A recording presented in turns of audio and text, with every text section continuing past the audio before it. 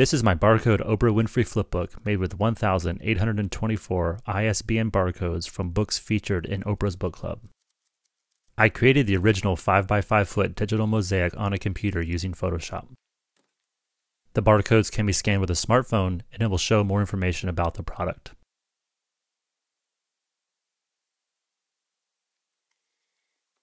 On the flip side, I cataloged a selection of barcodes used for the portrait.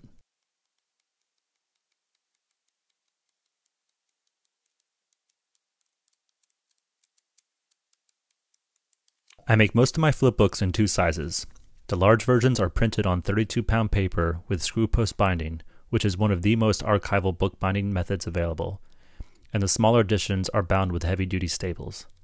Both versions contain the same 50 page animation and they are all signed and dated.